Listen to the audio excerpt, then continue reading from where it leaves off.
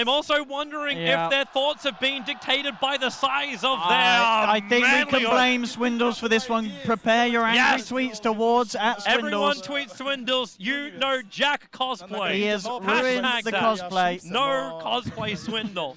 and also the coal He has swindled the cosplay. Ruined.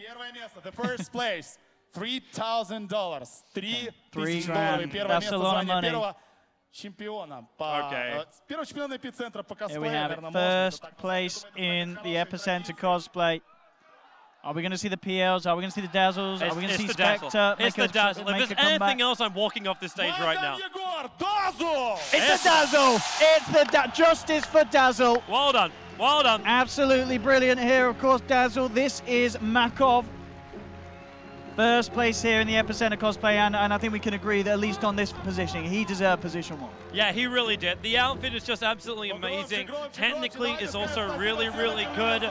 Look at the hands as well. As I don't know if you can catch when he grips, but the feet, as everything is done absolutely brilliantly. Are here. they-